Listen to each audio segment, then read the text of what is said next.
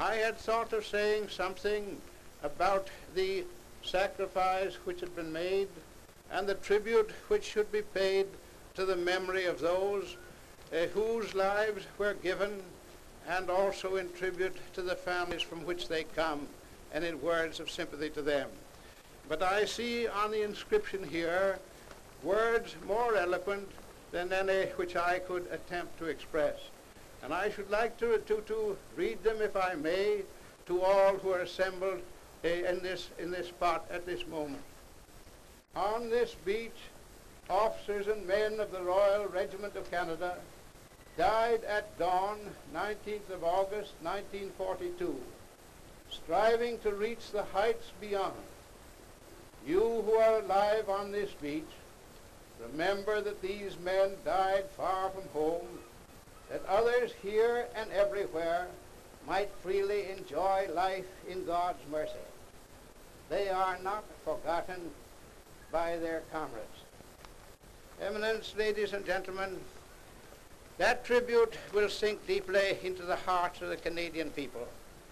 I am especially grateful, speaking in the name of my fellow countrymen, that you have paid special tribute to those who, whose names will be for all time associated with the place in which we stand today.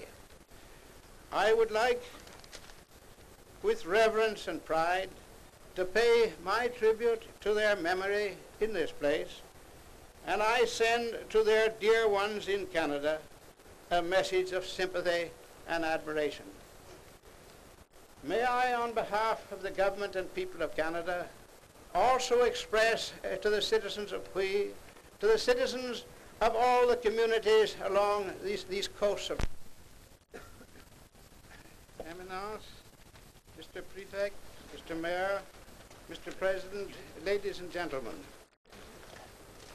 on behalf of the government and people of Canada, may I express the warmest thanks to all who have thought of, who have participated in, and who have arranged the deeply impressive ceremonies in which we have been privileged to share this morning.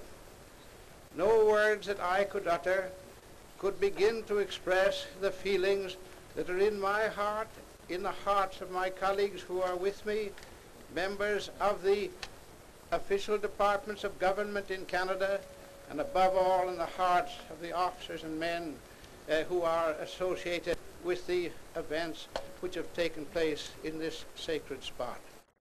But I would like to say that all that has taken place here this morning will deeply touch the heart of Canada, touch the heart of every part of our dominion. For it was on these shores and in this, this place that members of the forces of Canada from each of its provinces, from the Atlantic to the Pacific, shared in the effort to, uh, to take the course of action that would lead, as it did ultimately lead, to the freeing of peoples from a great tyranny.